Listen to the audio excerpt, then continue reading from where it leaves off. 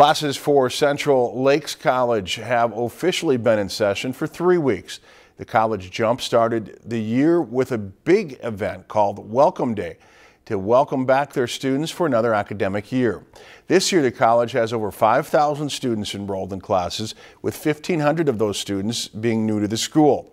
Although CLC is happy with the numbers, enrollment has gone down this year, they say, because of the economy. One thing that happens is when the economy is going really well, everyone is finding jobs and is either putting off going to school or doesn't have the time. And so uh, oftentimes in when the economy is very good, enrollment tends to go down a little bit.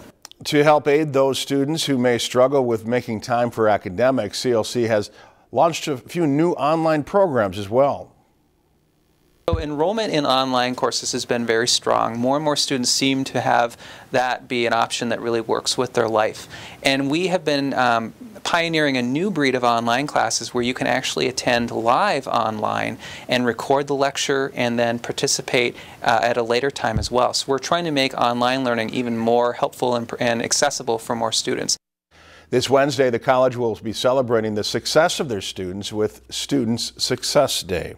If you've enjoyed this segment of Lakeland News, please consider making a tax-deductible contribution to Lakeland Public Television.